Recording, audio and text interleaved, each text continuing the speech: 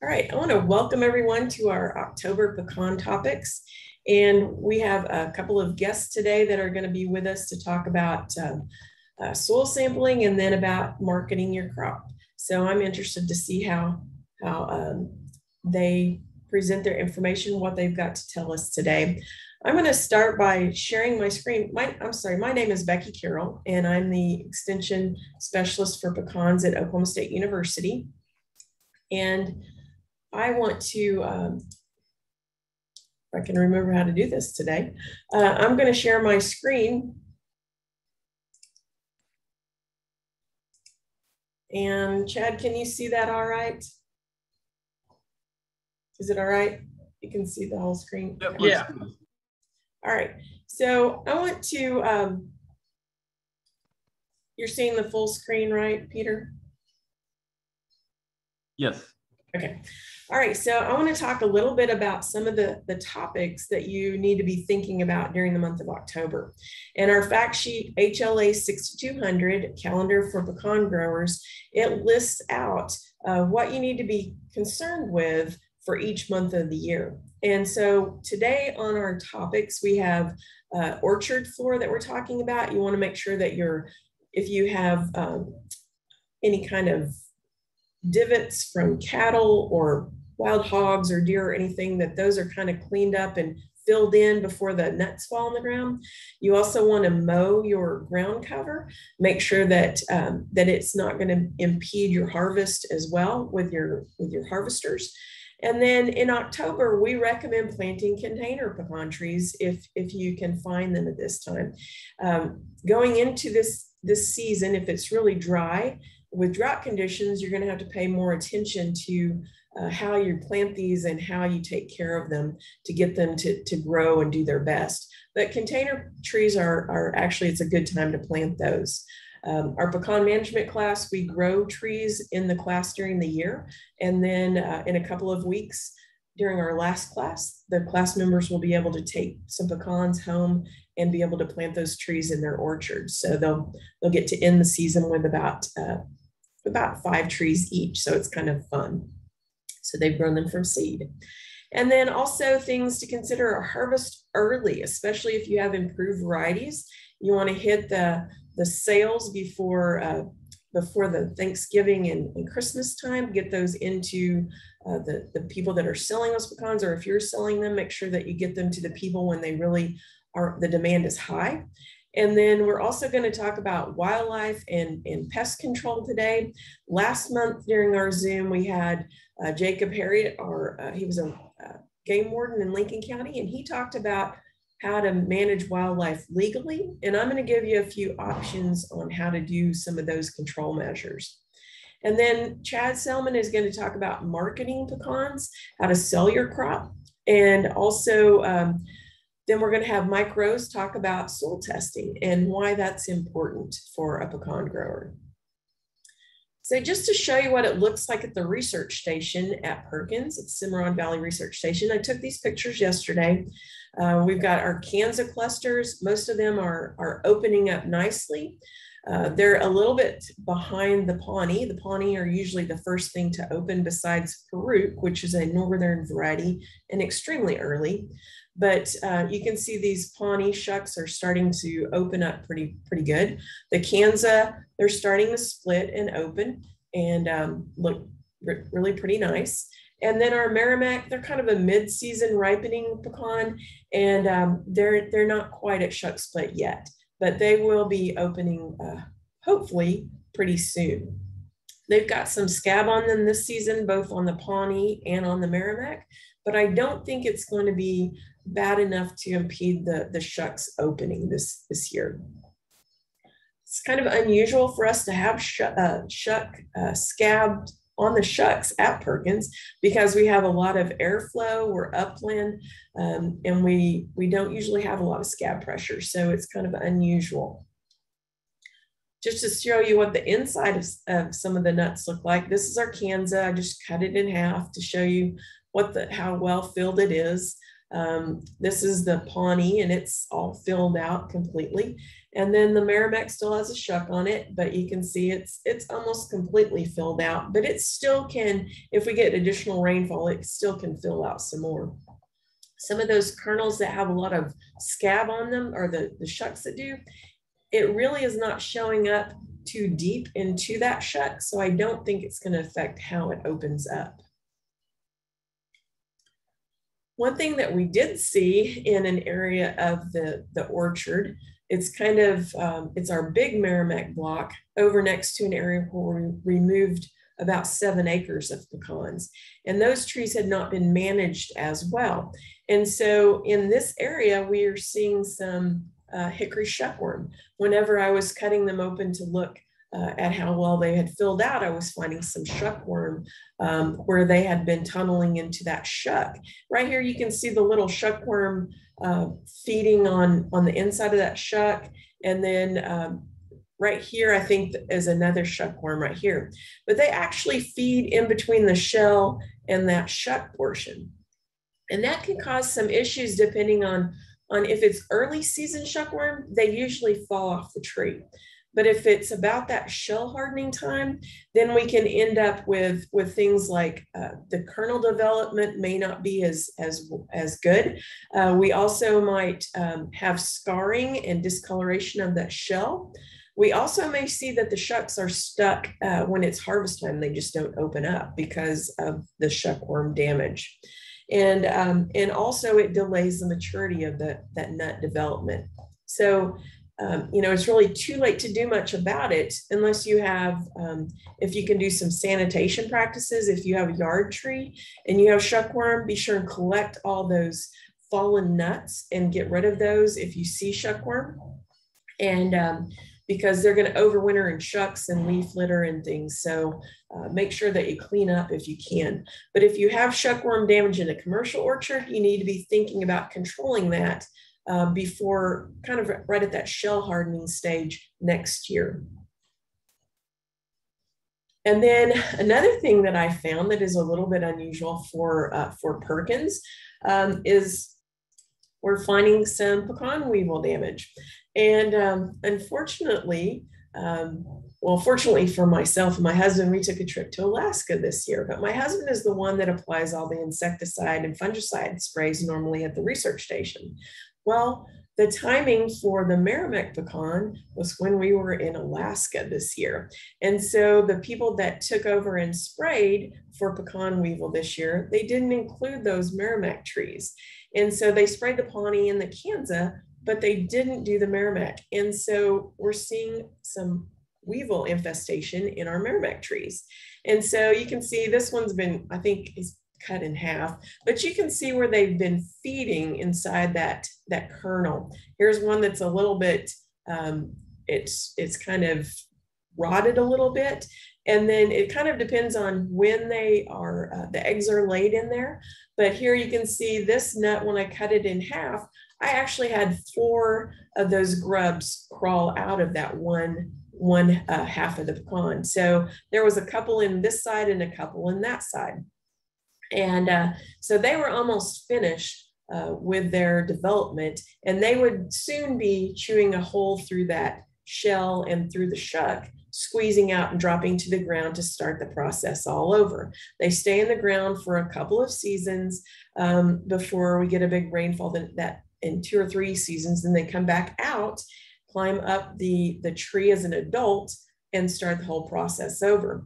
My husband Jimmy was out uh, harassing the crows yesterday or day before, and he said that it was raining pecan larva, pecan weevil larva on uh, on him, and he looked down and there was like three or four larvae that had just fallen out of a nut and were had gone to the ground. So they're getting ready to go back into the ground to uh, to overwinter for two or three years. And so he didn't let them get away. He went ahead and did mechanical uh, control by smashing them and uh, got rid of those. But you can see weevil can do a lot of damage. And uh, if you don't stay on top of your spray program, can cause a lot of issues. The Kanza and Pawnee, because of their development is earlier, they were sprayed earlier when they went from that gel uh, the water to gel and dough stage. The Maramec are further behind, so they missed out on that, that perfect timing for spraying. Another thing, we talked about pecan scab on some of the trees. This is Maramec. And these areas that you can see that are kind of cracked, um, that is, is normally showing where it was old. So it's not really actively expanding. And so it was, I think a lot of our scab infection was in that June and July period. And so there's not a lot that look this bad, but there are a few. Most of them just have lesions that are kind of spotted. Um, but you can see this nut, because of the scab, it's already starting to open. So it's probably not going to open properly. Um, but whenever I cut open this nut, this half, and looked at the kernel development, it didn't look that bad. So if the nut goes ahead and, and the shuck opens, that kernel may still be okay. Now, the reason that we see a lot of, of scab pressure at the research station was it was just perfect storm this year for, for scab development. And this is a map showing scab hours for the entire season. And if you, it, we talked earlier in the year that um, very susceptible varieties only need 10 scab hours to have an infection. And those things would be like um, squirrel, western, Wichita. Some of those are very highly susceptible. So only 10 hours of, of the right conditions can cause an infection. The moderately susceptible cultivars like Pawnee and Maramec, those take about 20 hours of, of the right conditions for scab infection.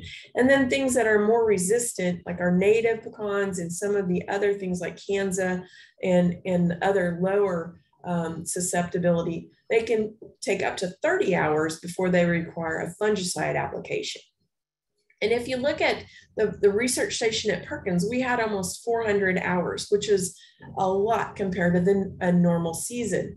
But what we normally see, you can, you can kind of tell on this map, the darker green areas are lower scab hours. So we don't think of having any scab hours in the panhandle normally. And it's usually a definite kind of right down I-35 I-35 that goes straight down Oklahoma. This half of the state is usually much drier. And we don't see a lot of scab hours. We do see a lot of scab in the eastern section, and it's always much higher in the southeast because there have a lot more humidity and rainfall. And so we usually see high numbers down here. This is not unusual. But normally this darker green is going to be about half of the state. So these people down in this area that usually grow those those uh, highly susceptible cultivars may end up with a lot of scab this year. So I want to show you a map. So this is what it looked like this year for the entire season. Now, if you look at, this is 2018, 2017, 19, and 20, you can see it's got that definite kind of, of change where it's darker green in this area. Now, um, let me see, it was 2019, we did have kind of higher scab hours in areas, but still down in the southwestern part, we didn't see a lot of, of pressure. Uh, but occasionally we get a lot more scab hours up into this area. But you can see um, this, this past year in, in 2021, we just had a lot more hours over the entire state pretty much. So we're gonna see a lot more scab infection, may cause some issues with our harvest this year. Another problem that we've we've had, we've had this uh, late summer is drought. We haven't had a lot of good rainfall. And so this was the drought map September 28th and, and October 5th. And we did have a rainfall in between these two uh, maps, but it didn't do a whole lot. We had a more rainfall in this area and a little bit in here that caused uh, it get to go down to abnormally dry instead of the moderately drought, uh, moderate drought. But I believe I heard about 93% of the state is under some type of, of drought condition or potentially drought condition. So hopefully we're, we're forecasted to have some good rains this next uh, Sunday through Tuesday or Wednesday. Hopefully that will help with our with our trees.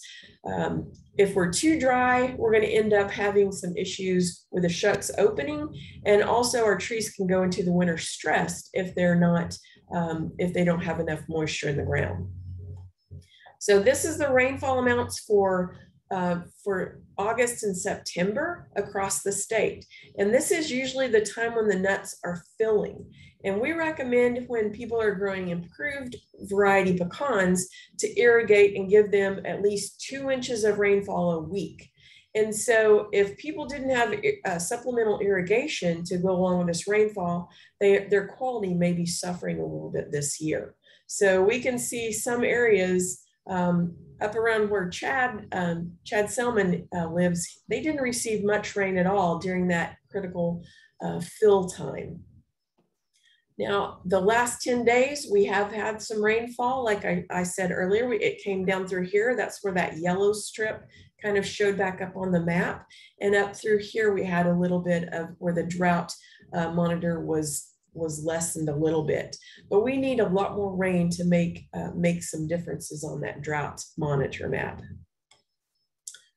Another thing that we we really work really hard on this time of the season is is working to protect the crop from wildlife.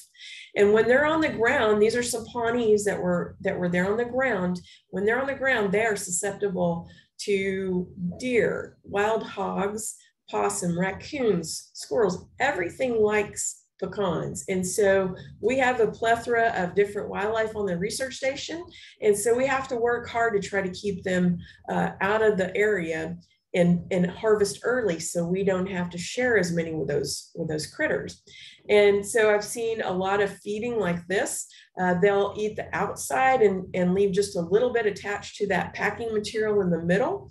Um, I think it's probably squirrel and then we've also had some wild hogs move into the, the orchard. And so they're starting to root up some of the areas, the, the uh, herbicide strips. And this makes harvest much more difficult. If those nuts fall into these divots where they've rooted, the harvester will not pick them up.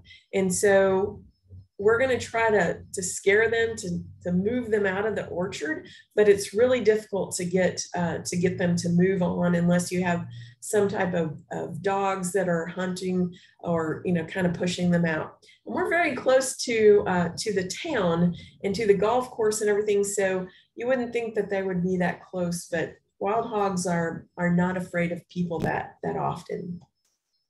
So some of the methods of wildlife control are exclusion and habitat modification. Sometimes these are difficult to do and can be expensive. Uh, there's repellents, harassment, toxicants, trapping, hunting, and a few other methods. But those crows can live for many, many years. And a lot of those animals are very, very smart. They get used to what you're doing and they, they're like, well, that's just Becky out there and she's not going to hurt me. But if Jimmy shows up, he's the one that carries around that that gun that might hurt me. So they know the people that are out there. And so when I'm in the orchard, they don't really leave. They just watch me. But if it's one of the other guys that is out there hunting or doing something else, then they are really watching them closely. So we need to use multiple approaches to uh, keep them at bay. So some of the exclusion and modification of habitat, you know, fencing, if you've got an area where you just cannot keep them out, fencing an area may, may be beneficial. We've got about three quarters of a mile of, of hog fence up. And so we've been able to keep the wild hogs out for, for a while, but now they're, they're venturing down and around and coming in another way. So, um, so that can be an issue.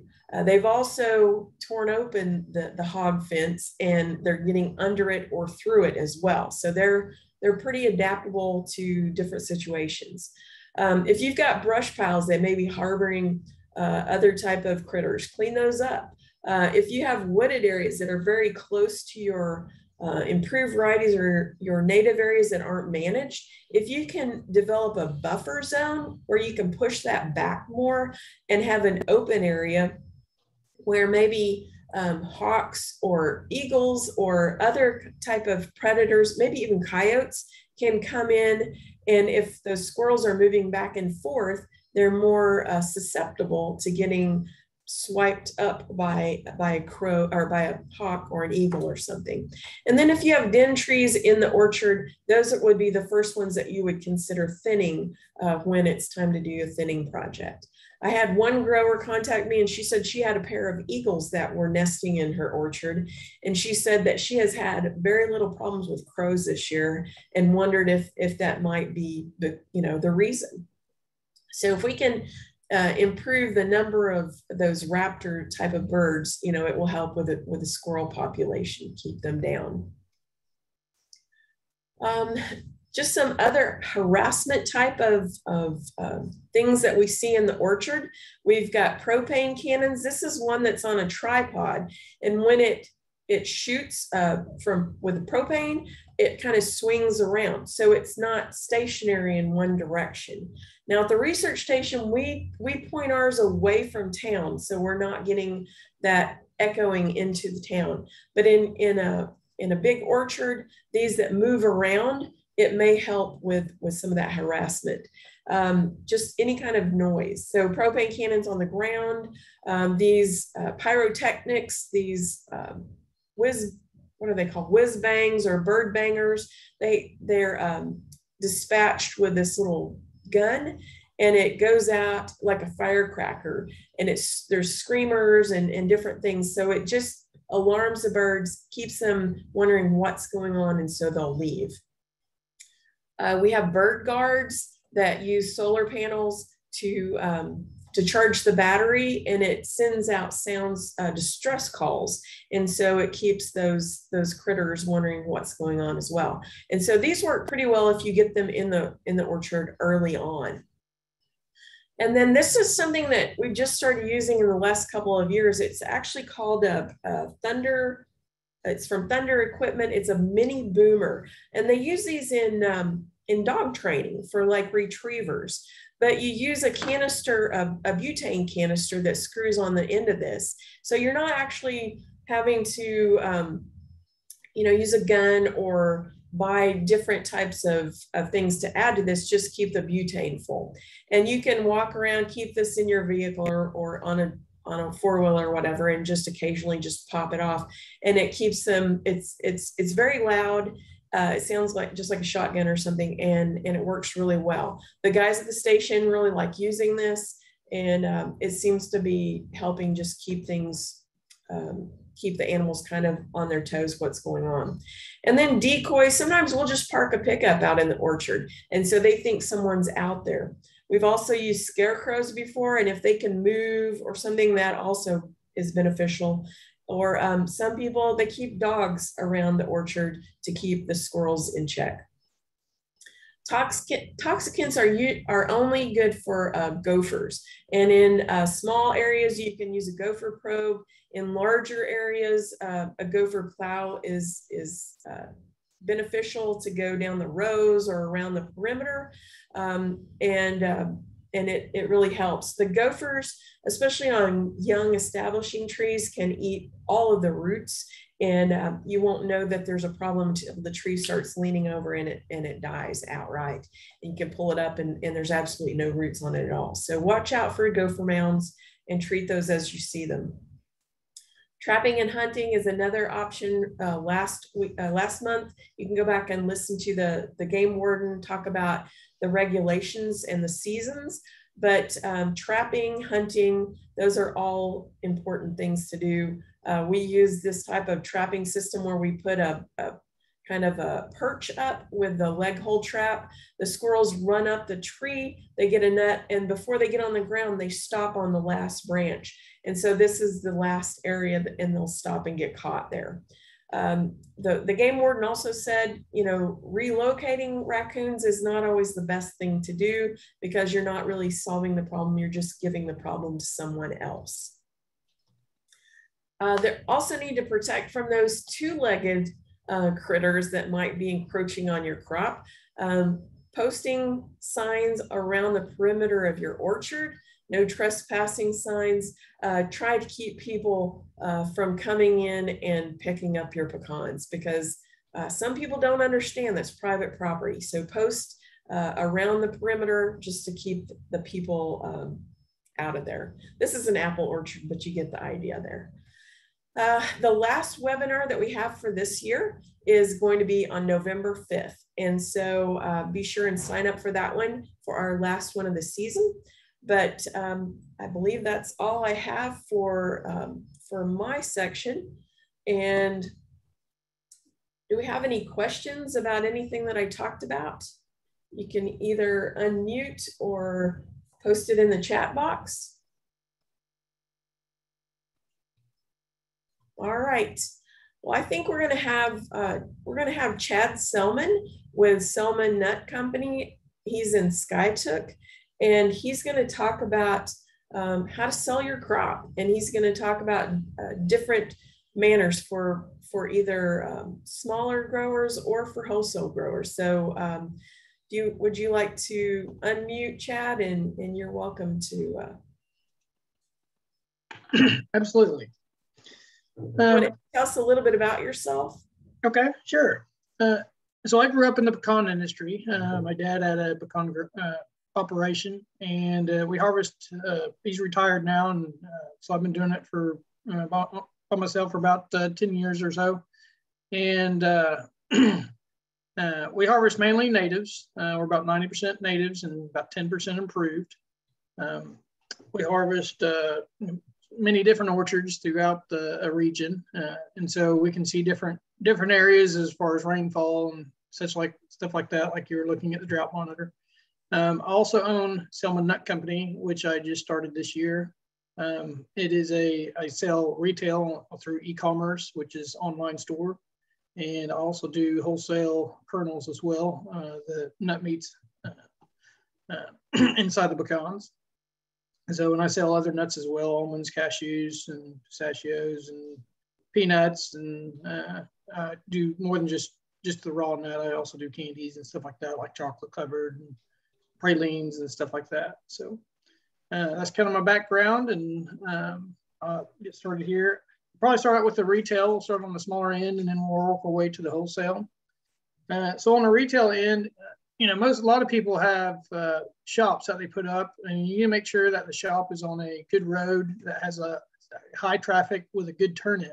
You know, people want to feel safe turning into your shop and pulling out of it, uh, especially since most of the people that are going to come into the shops are kind of on the elderly side.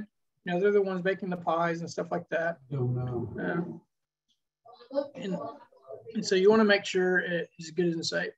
Uh, also, you want to make sure to have a sign out so people can see that your shop is there. You want to have it on your building as well as out in front uh, at the turn in. Um, you, and I would suggest not just selling pecans, but selling a few different things um, as it as when they come in, they can uh, they can buy more than just a pecan. They can buy a walnut or an almond or um, cashew or whatever they're looking for. Doesn't mean you need to have a bunch of it, but I would suggest trying putting a little bit in your store as well. Um, especially having little pecan candies. Uh, those are very good sellers during the holidays. Your chocolate covered pecans, your praline pecans, uh, things of that nature. When you're pricing these, you need to make sure they're priced high enough, but you don't want to be too high where it scares away your customer. So on, a whole, on the wholesale end, you look at it, okay, these pecans are worth, uh, just for example, a dollar a pound. So what is my cost to get this to sell it at a dollar a pound, and what is my cost to sell it at four dollars a pound? And what is how much more cost am I incurring by retailing these? And so you need to look at that as you're pricing them and make sure that you do have them priced high enough to where you're making a profit. Because just because you sell it more than the wholesale price doesn't mean you're profiting because of the higher cost. then uh, you, and if you, it'd be always be good to create a website uh, for your store if you want to retail uh, larger amounts. Um, but if you do, uh, I would suggest that you definitely need to market your website uh, in some form or fashion, uh, like using Facebook or um, LinkedIn, um, uh, you know, things of that nature. You, there's also companies out there that are some can be fairly cheap. You just have to shop around, but you, you want to make sure you get a quality company as well, not just pay for someone to that really doesn't know what they're doing. Um, you, and you can buy advertisements with them. uh, or they can um, direct you in a way uh, that they think would be best for your store. And so those are the great, great ways to, um, to market pecans on a retail level. Uh, having a store is great. Uh, you get a lot of foot traffic. Uh, when they come in, they're generally going to buy something. Um, the good part about uh, e-commerce is having an online store is that you don't have to mess with the people. you just put it in a box and then ship it. Um, but then then they're not seeing your store as well. So you have goods and bads on both. So, so Chad, is, is there um, things that you need to think about when you're retailing about how you sell your product um, to meet health codes and things, or do you are you, do you talk about like uh, processing or anything like that? Do you suggest people might yes. crack their own or hire that out or what do you think would be beneficial for a lot of growers yeah so i'd say for most retailers it is much better to hire that out the shelling process of the pecan uh, because they're going to get sanitized in the correct way. And you need when you send it to a sheller to get sanitized you need to make sure that they have those uh, those practices in place that they have the correct documentation. Because if something were to ever happen, they're going to go come back and look at that, say, where were these shelled? Then you, then you can say, here, here's my paperwork, here's the documentation. Uh, you know, these guys shelled them. They have all the, they're doing all the procedures necessary. Um, also, you need to have a sales permit uh, through the state of Oklahoma uh, to be able to uh, to retail as well. And if you have a, and if you're storing any of your products uh, if you sell, I'm not exactly sure what the correct, uh, what the right amount is. If you sell over a certain amount, you have to be inspected by um, by the state to, to food and health department to make sure that it's sanitary uh, at your facility and if your retail shop as well, if you're doing retail also. Uh, so I'd highly suggest doing it, um, you know, seeing that off and getting Michelle. Uh, there are a few people that I that I know that do do their own and that they, but they do a very large amount of retail and they do have all those practices in place and make sure that they are up to code on everything. So. Um, you know, on another end, once we get past the retail retail side of it, um, then you're moving on to the next next level, which I call the retail wholesale or gift pack market. So those are the those are the ones that are going to bring a premium, but you're not selling them at one pound at a time. You can be selling them anywhere between 50 to um, even semi loads uh, at a time. Move move at that level, and those are going to other retailers who are going to put them into a, a nice little box and retail them uh, to customers around the holidays. And that's generally a very early season. There's only a limited time where that really works. Uh, it's generally in between generally around October 15th, you know, the very first nuts that come off the tree, all the way to uh, probably about mid-November. That starts to fall off because the people that are uh, have those retail shops that are going out and buying those nuts, um, they've already acquired what they needed. Uh, but it is a very good way to get a premium on your on your pecans, and those are generally the the kind of the better varieties, uh, like your Pawnees. And I say better, the more sought after varieties that uh, that most people want around here is like your Pawnees and your Kanzas. Uh, that's what people are looking for for the pet market. So, and then uh, once you do that, it kind of moves on to the wholesale market, and that's that's what I've been doing probably most of my life is wholesaling uh, semi loads at a time. Uh, I also buy pecans throughout this throughout the United States. Um, and so I, this is where most of my experience comes in. And on a wholesale level, uh, on the improved varieties, you can, like I said, you can uh, you can get into some of those higher prices if you can get them out really quick. But if you wait a little bit, you know, prices are going to drop back down to uh, commercial grade shelling stock. And on the native level, there really isn't that gift pack market for those, unfortunately. Uh, maybe one day it'll be uh, it'll come alive, but uh, I'm not going to keep my hopes up too much. but uh, uh, and one thing that you know, there's a lot of growers out there that don't pick a semi-load of pecans, and so my suggestion to those growers is if they can get um, lots put together, if they can go in with their neighbor and say, hey, this guy has 10,000 pounds, this guy has 25,000 pounds, this guy has 15, that creates a semi load. And if they can bring them together into one place where a buyer doesn't have to go to all three places, you're going to get a full price for that. They're not going to be discounted. Whereas if, say, if I was to have to go to three different places, I have more time and more labor in it. And if I'm buying a single lot at a time, say 10,000 pounds at a time, the buyer is also taking a risk on whether the price goes up and down in the market to get a semi-load put together. So we're going to discount that just a little bit to make sure that we can we can profit off of that. So is so I suggest to all growers that they would come to put it put it together into a semi-load lot because I want you guys I want growers to get the most money that they can for their crop. And, also you need to talk to uh, several buyers. Don't talk to just one buyer. Uh, there's five or six buyers in Oklahoma that you can talk to. Um, so say, hey, what's going, you know, when you talk to them, just ask them what's going on with the market. Is it going up? Is it going down? You know, um, you know, where's it at right now? And talk to them weekly uh, if you want, or talk to them every couple days. Uh, uh, at least every two weeks, I would talk to them because the market changes so fast. Sometimes I, I you know, might change three times in a day. And some buyers might be in the market and others might not. It depends on the sheller and who they're buying for and such. So you might talk to me, to me today and I say, yep, price is $1.50 a pound. And you call me two days later and I say, sorry, I'm out of the market. I already filled the orders. So you, you definitely need to talk to several buyers. And I'm more than happy to give out some names to uh, some buyers that are out there.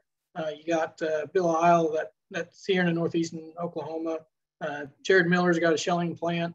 Uh, you got uh, down in, Ard, in Ardmore, you got Jerry Rutledge down there, and uh, North Texas is uh, uh, Nancy McCoyne, and and Southern Oklahoma, Southeast is Kevin Crouch. He buys some down there. So there's several buyers around that you can talk to. Uh, then uh, also uh, when you're when you're harvesting, if you have a sizer, I try to keep those varieties separate uh, out of your even out of the natives, but if you can keep even the varieties separate out of themselves, you might get a little bit more money. Um, in the recent, this last year was uh, definitely a difficult year to move uh, blends, which is everything's kind of just mingled and put together. Uh, shellers didn't want them; they wanted them separated already because the reason is that some of them are might be longer and skinnier than others, and they might go in the same size hole when you're sizing them.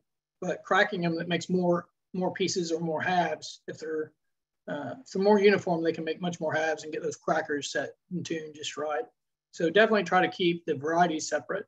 Uh, if you have if you have enough um, enough of those varieties, if you don't, it's probably not going to make a big difference monetarily. Um, then I would just keep them keep them together. Same thing with the natives as well. Uh, you know, say on a semi load, if you only have a couple hundred pounds of have improved. It's not monetarily, it's not really worth keeping those separated um, because you're not really not going to get that much more for them. It'd be more work and cost as far as equipment to keep that, keep to do that as well.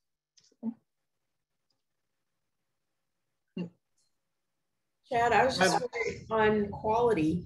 Um, do you need to keep, if you have some natives that are higher kernel percentage versus another area, is it important to keep the quality the same in those shipments too, if possible? Yeah, absolutely. Um, especially uh, if, say, if you have a native that grades, most Oklahoma is going to grade in between uh, 39 or 40 up to uh, about a 42 and a half. Um, there's some parts in northern, far, far northern Oklahoma that's going to grade in 45s. And those are obviously sought after more. They get a little bit thinner shell, and the higher grade are, are sought after. They get they might make an extra two to two to four cents uh, on those semi loads, uh, semi load lots as well, um, because of that. And then if you send, you're talking about weevils. Weevils is the number one thing in Oklahoma that will degrade your crop, degrade your the quality of that load. And that's where we get a lot of the lower grades is because someone didn't spray or someone didn't pick them out good enough. And if a sheller sees that they have has a semi load that has 10 weevils in this load in the, in the one pound sample and a semi load that has zero, he's going to pay much, much more for this, or the weevils will get discounted much more than the load without the weevils. So it is very important to do that spraying and to pick your pecans out well and blow them out well. And to do that, there's you can mainly the on the machine side to get those weevils out are blowers and aspirators and stuff like that. Those work very well to do that. Uh, and so anything that's below about a 38 um, on a native really kind of starts get price starts going down on them. Um, in 36s, some people might not even buy them until kind of towards the end of the year. If, you know, we're kind of running out of stuff to buy, then uh, I might try to buy those. But you need to really keep them around that 40% or better. Uh, that's where kind of most shellers look at uh, at buying uh, buying natives. There's there's I know some smaller shellers that they won't. I don't think they'll even buy anything below a 40. So. And then for your gift packs, your improved varieties, you really want to. Yeah. So that yeah. So that that gift pack market is the best of the best, and a lot of those, uh, uh, especially large lots, they actually get sized off. And so, say you're anything below it's like a number 13 or 14 isn't going to go into that gift pack market. It's going to go into the shelling stock. It's one of those big, nice, bright color pecans. Uh, and so just saying, just say you went out and picked your, harvested your Pawnees and you didn't size them out at all. Uh, there, you know, there's any, anywhere between, uh, you know, a 10 and a, and a 16 in there. Those aren't going to receive the premium that a load would if it was all number 14s. Because then that sheller is going to buy, he's overpaying for the smaller pecans than, than he would normally be. Can you explain what a 10 and a 14 and what all that means? Absolutely. so we use those numbers. It's a 10 16. So we, we size the columns on every 16th. And so generally it, can get, you can start them at a 7 16th if you want to, but uh, generally anything that's an 8 it's 8 16th and below gets thrown out of the yield. And so that would be treated like uh, trash or an inedible because those are very difficult to shell. So then we start natives at say a nine and nine. So when we yield them, we say it has this many number eights in it. So they know how many pecans are going to be taken out. So we start like a 9 16, 10, 11, 12, 13, 14, 15, uh, 16 16, which, which is one inch. Uh, and I think that's, and anything over that's called, it's all oversized. Um, but there's not a lot of those that are over one inch thick. Chad, is there a correlation between a 10 and 40%, or does that vary a lot? I mean, is there a ballpark where you kind of have a feel for that? Yeah, so generally the, the lower the nut count, generally the better the yield uh, because there's more space in that pecan to create a kernel. Um, but that's not always the case. You can look at, look at a, a, a Peruque is going to grade uh, tremendously well. Uh, you know, a good Peruque is going to grade in the upper 50s. Um, and it's only going to maybe nut count around 100. Uh, you know, in between 90 and I've seen them up to, I've had Peruques actually be 115 and still grade in the upper 50s. And so it depends more on the variety than it does the, the count.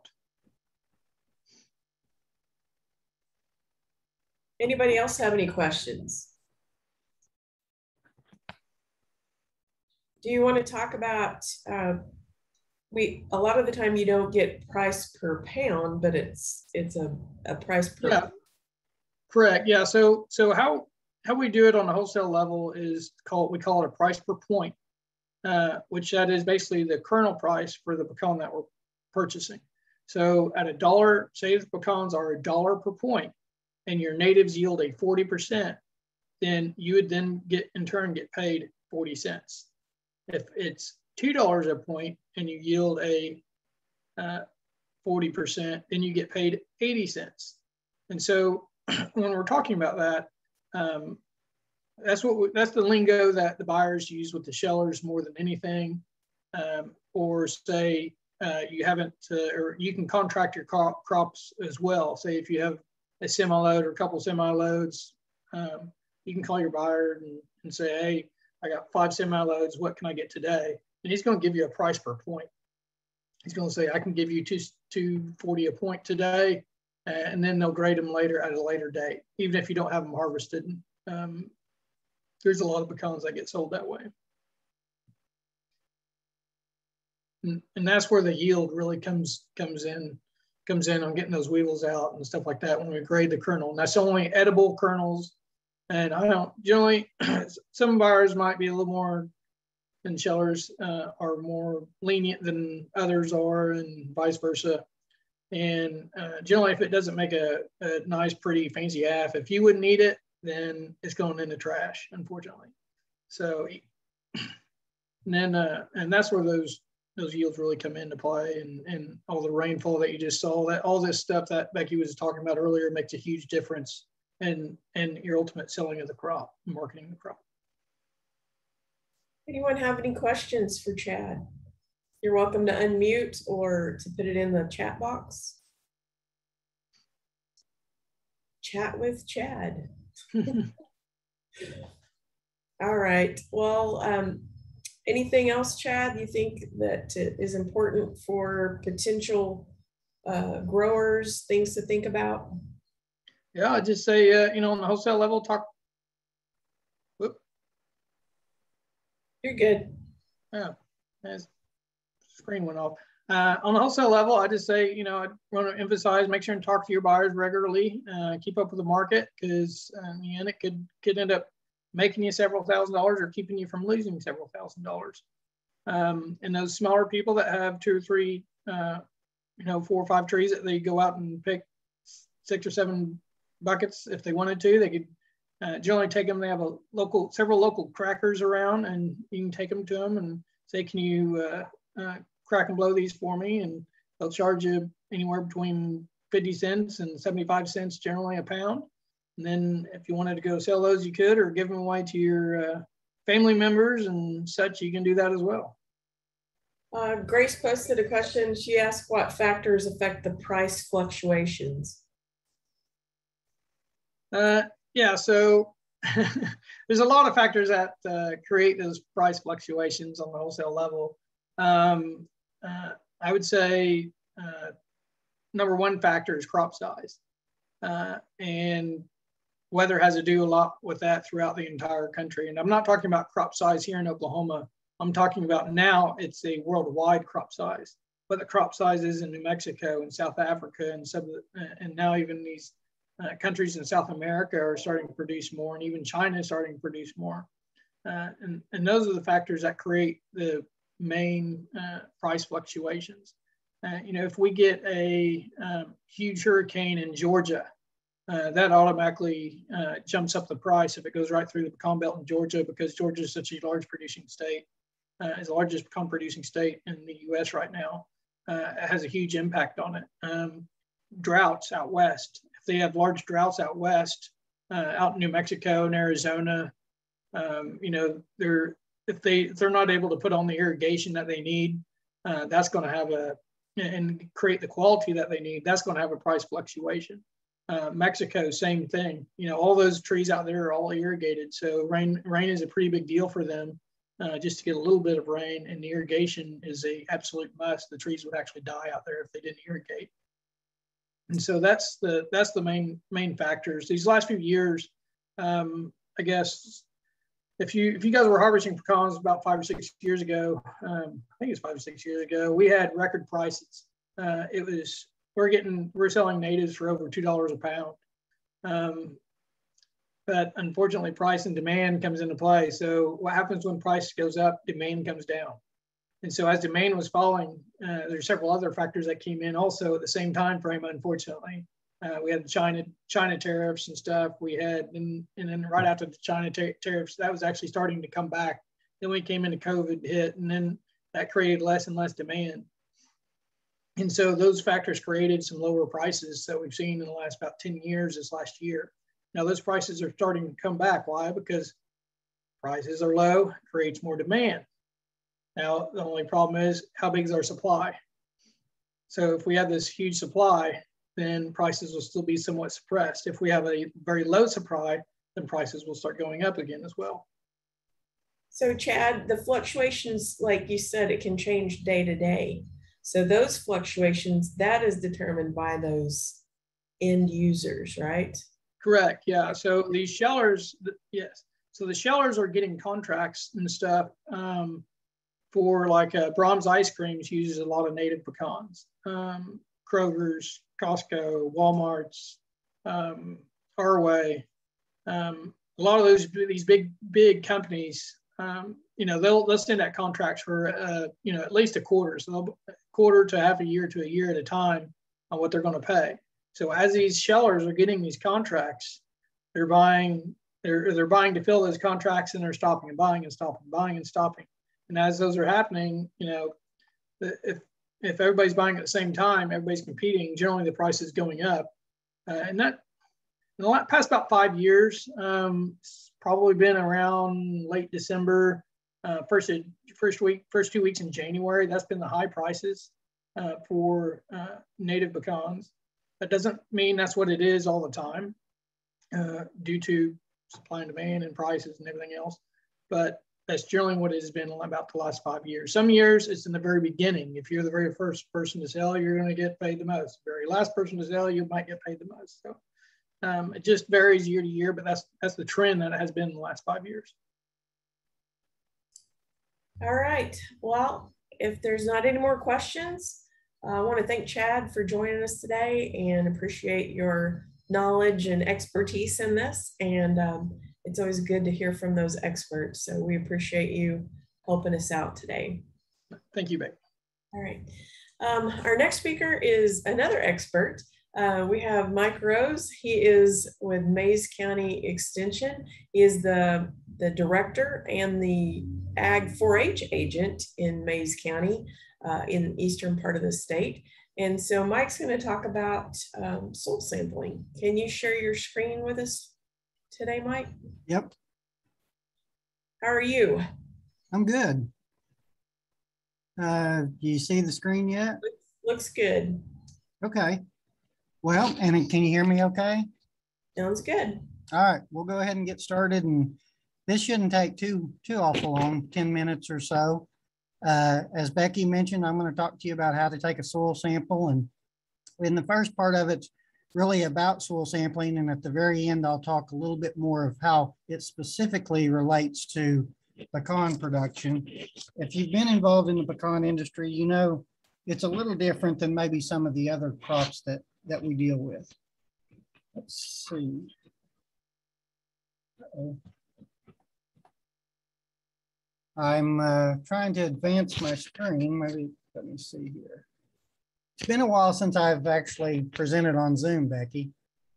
Um, anyway, uh, as you can read or see on this first slide, the greatest potential for error in soil testing is in taking the sample. And that's something we see in the extension office on a real regular basis. You really get the quality of information that you get is consistent with how good a sample you pull. If you're the guy that wheels in and, knocks off a few clods off of your uh, mud flap and throws it in the bag and brings it into the office, yeah, you'll get a test result, but it really won't tell you a lot about what you're trying to accomplish. Uh, you know, as, as, as it says lower in the slide, results are only as good as the sample or take that's taken. So we're going to talk a little bit more about those specifics and how that impacts you as a grower. So when we got talk about collecting a good soil sample, one of the easiest ways to accomplish that is is the first, uh, if you don't currently own a soil probe, go to your local county extension office and borrow a soil probe or a sweatless soil probe. That'll make the process much simpler, much easier, and allow you to get a good sample. In this slide, you can see uh, the stainless steel soil probe. I like it because it has a foot peg, makes it a little bit easier to collect those samples. Uh, it works really well in most soils that don't have a lot of rocks and that has some soil moisture. You look at the sweatless soil probe, that's essentially the uh, ship auger bit that's attached to a cordless drill with a bucket. That works really good in really rocky soils or dry soil. It doesn't work so well if you have wet, heavy clay soil because then it'll stick to the bucket. When you go through the process of collecting that sample, you'd like to collect 20 plugs randomly from the area that you're testing. I would generally encourage you not to test a, an area much more than 40 or 60 acres. It's generally not very expensive to do a soil test. And as you get over larger and larger areas, uh, you're, you're using really a pretty small amount of soil to make large financial decisions. Uh, you know, an, uh, a furrow slice, an acre, uh, an acre of soil that's six inches deep is 2 million pounds. So you're, you're dealing with a lot of soil there and you're trying to get information to make management decisions. You can of course test anywhere from as small as a garden, but I probably wouldn't do much more than 40 or 60 acres. When you go about that, you're gonna randomly select 20 or take 20 plugs randomly from the area that you're gonna test. You're gonna avoid any manure piles or any urine spots, anything that you obviously know has higher nutrient content. If there's an area out there, say the size of your house or something that nothing ever grows in, don't include that in your routine soil test.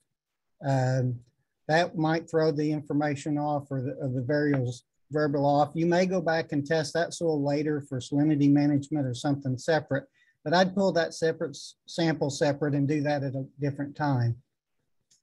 Uh, you want to pull those soil samples at a six inch soil depth.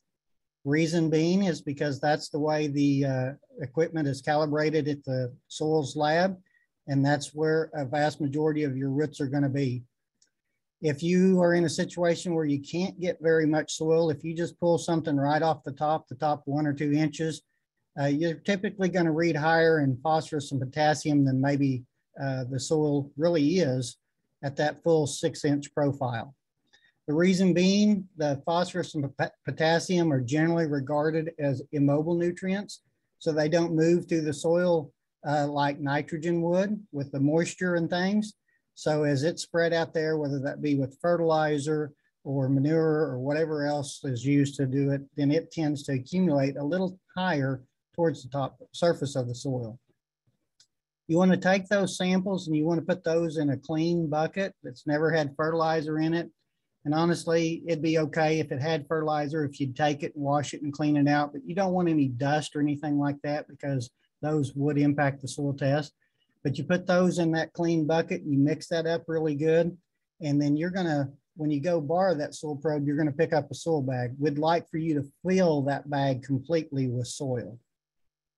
You can actually go ahead and collect or send in a sample if it's at least five and a half ounces of soil the lab will go ahead and run that if it's at that low of volume, but you really want a full bag because the soil lab is going to take that, they're going to grind that sample up itself, and then they are going to pull about a thimble full of soil out of that to actually run the test.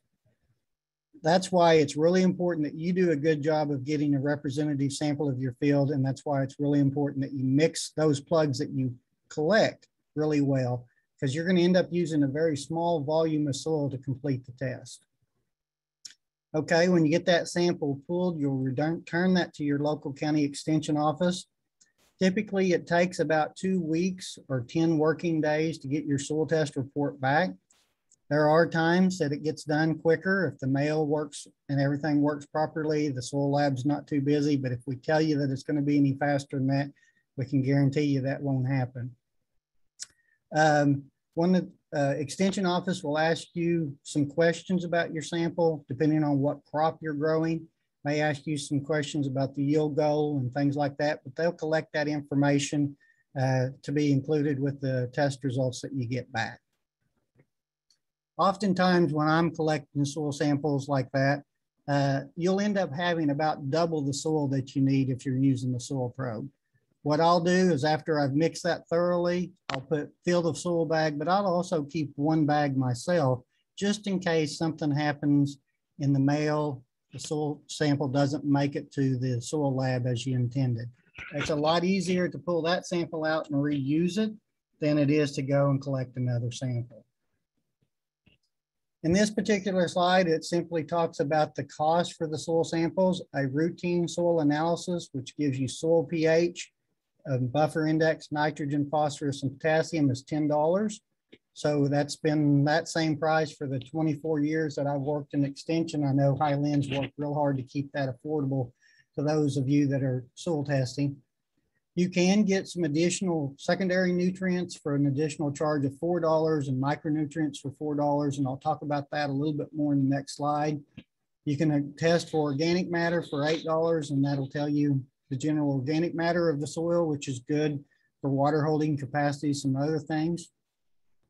And some other thoughts regarding that while I've got it on the slide is if you get that soil sample back and the information just doesn't look right, and oftentimes your county extension agent will look at these soil tests, so should look at them. And if something's just way off track, uh, you can request to have that sample uh, reanalyzed. The soils lab will keep that sample for a month, sometimes longer if they're not moving a lot of soil samples at that time of the year. And they can rerun that test if you let them know uh, that there may be an issue with that soil test in a pretty timely manner. And then as I mentioned before, I go ahead and save the extra soil that I've collected uh, so that in case it get lost, it gets lost in the mail. Now, if you use the sweatless soil probe, it won't collect as much soil as the normal push-in soil probe. So you may not have quite as much soil to save and, and use in case you need it. This slide specifically tells you more of what's the details of what's involved in some of those other tests. We'd mentioned the routine test is pH, buffer index, nitrogen, phosphorus, and potassium. I'll talk a little bit about those in the next slide, I believe. Secondary nutrients that can be tested are sulfur, magnesium, and calcium. And micronutrients are iron, zinc, and boron. Most Oklahoma soils are not normally deficient in secondary or micronutrients, generally speaking. But there are situations like if you've used uh, a same field to grow alfalfa, I've had this occur before numerous years in a row, uh, it ends up having a boron deficiency. So it can happen and, and it's good to test that occasionally uh, for some different crops. As mentioned before, some of the other tests that can be done are soil texture, salinity management, and comprehensive salinity management. So the Soils Lab does a, good job of, of having a good number of different tests that they can do to help you as a grower. This slide is showing uh, basically a handout that I put together that tells you some of the things that you'll get back on your soil test and kind of what some of those numbers mean.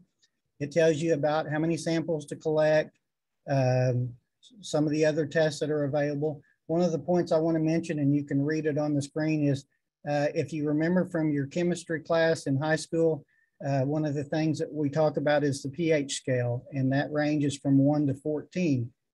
But it's been a long time since I've been in chemistry, and maybe some of you are in that situation. But it's important to remember that a pH of 4.0 is 10 times more acidic than a pH of 5.0.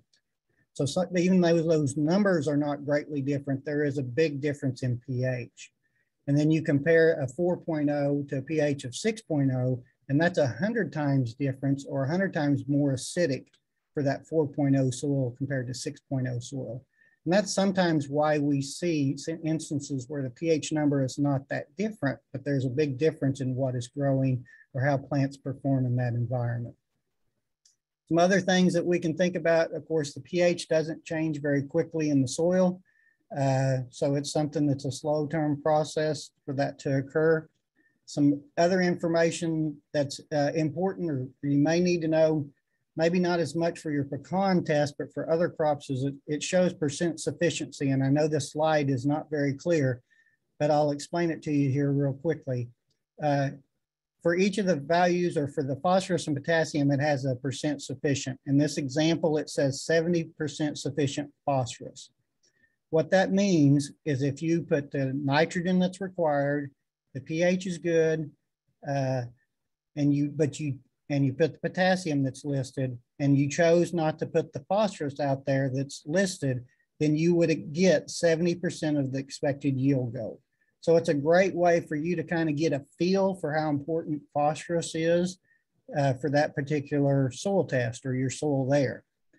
Uh, also, the phosphorus and potassium are somewhat connected or interrelated meaning on this example, if the phosphorus is 70% sufficient and the potassium is 75% sufficient, If you put the nitrogen that was required, the pH was not a problem, but you just didn't have the money to put the P and K out, you could multiply 0.70 times 0.75. And I don't think, and this example is incorrect, but that would end up giving you 52.5% sufficient. So what that's saying is you spent the money for the nitrogen and you ended up getting only 52.5% of the expected yield. So in this particular soil sample, uh, the phosphorus and potassium were pretty important, necessary for you to include in order to get good growth or production. Uh, and then finally, something more specific with pecans.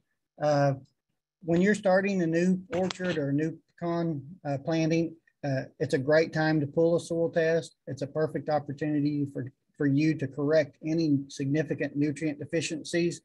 As I mentioned, uh, lime slope uh, changes pH slowly in the soil, what might allow you to incorporate that lime, or if you have a, a major phosphorus deficiency, you can do those changes or make those changes right up front and put yourself in position to allow those young trees to grow well from the very beginning.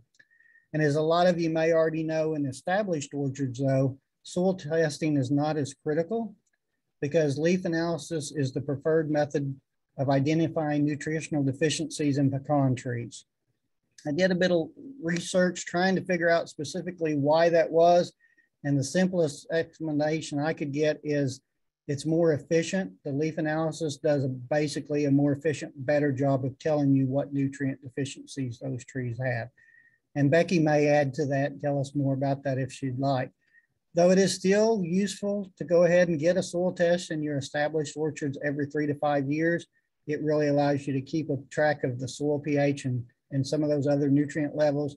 And pH is important for you because it impacts uh, how, how the trees maybe take up zinc and some other important nutrients as well.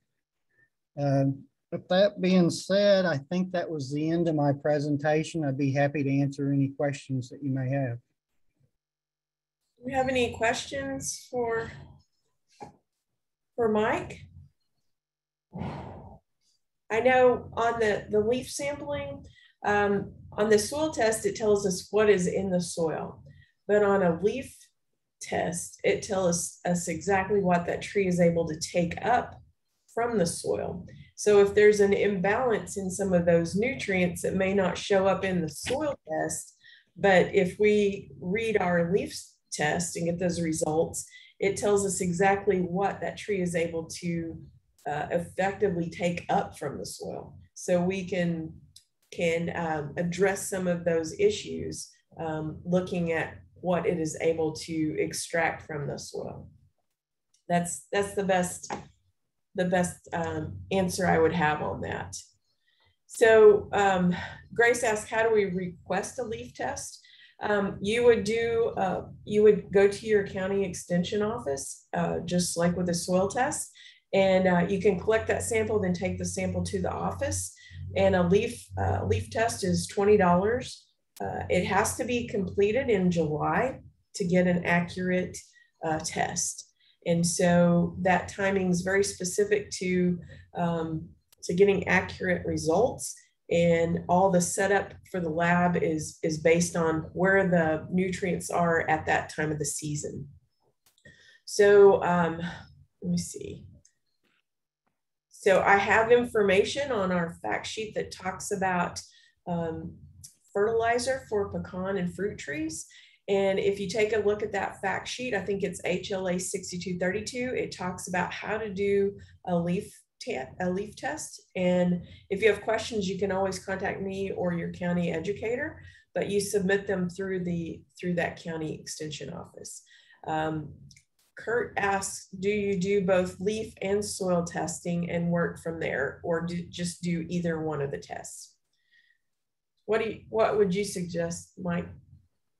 Um, it would be useful to have both. Uh, it just gives you more information to start with.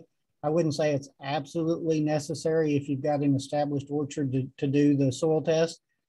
Uh, but boy, it's sure nice to know what your pH is. It gives you an idea of, of maybe how your trees are going to respond to that fertilizer.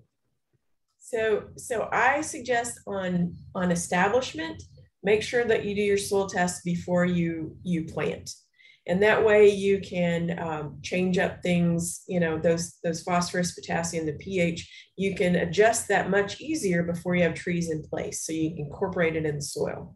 And then every three to five years, test your soil to kind of see how you're, you look. And if you see something starting to get out of balance, then you need to address that. Most of the time, only the only nutrients that are deficient in our orchards are going to be nitrogen and zinc. And so those are the two nutrients that we need to usually apply annually.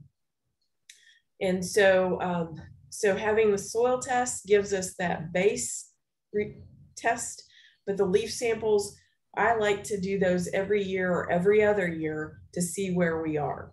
Nothing can get out of balance too quickly. And they're only $20. It's not a lot of money to spend. Uh, if you go through another lab, I think they're usually probably around uh, $50 or so, but it's, it's well worth the money because you know exactly what you need to fertilize with. And then Grace asked how to collect leaves for your leaf test. Um, that fact sheet, or we have, um, if you go back to July, you can take a look at the Zoom from July and it goes over leaf sampling for those tests. But I'd be happy to visit with you if you have questions about that later. And then Chad posts are there any plants that help with phosphorus and potassium, like clover that helps with nitrogen? I don't know of any. Do you, Mike? No, I wish there were. Uh, we'd all be using them, Chad. Yeah, it, uh, you know, and, and clover is, you don't really want to fertilize with nitrogen if you have clover in the orchard because it will, that not, the clover will not um, fix any more nitrogen but they will benefit from phosphorus and potassium um, on your clover for, for growth. Um, let's see, Kurt asked, with regards to leaf testing, how many leaves per block or hectare to test? Um, normally a sample is going to be, we test over areas that are similar. So in our case at the research station, we have blocks of Pawnee, we have a block of Kanza, we have a block of Maramec. So we'll do a test from each one of those blocks. If you have trees that are that don't look right, that look like they're sick or they have problems, you'd want to sample those separately. If you have areas with different soil conditions, you'd want to sample those areas differently as well. But normally you want to um, sample from a consistent, uh, similar tree. If you have a native area, uh, you sample native trees based on a similar site. That would, would be helpful. But usually um, we don't want to do it over too large of an area, but it can be, you know, 40 to 60 acres, like Mike was saying. You can do it over a, a large area. But the more detailed, the more samples, then the more uh, you know, accurate your results will be as well. So any other questions?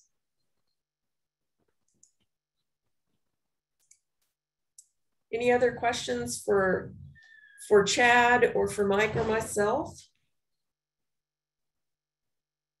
All right, well, if you have a question, you're always um, encouraged, you can email me and I can answer your question or find, find someone who can um, get you in touch with one of the speakers that's been on. Uh, want to encourage you to join us for our November 5th webinar, and that will be our last one for this 2021 season. Uh, well, I'm not sure of the topics just yet, but it will be um, things that are appropriate for that time of the season. We'll see what kind of uh, what kind of topics and speakers I can drum up before our next uh, next one. So if you have suggestions, things that you'd like to see, send me an email and I'll uh, look at trying to fill some of those, those uh, requests. I want to thank everyone for participating. I want to thank Mike and Chad, especially for tuning in today and uh, presenting their information. And uh, thank everyone for, for joining us. And we will see you again in November. Thank you. See you later, Chad. Bye, Mike. I'll go ahead and end it. You guys Thank have you, a Becky, very much. Thank you. Thank you. See y'all later.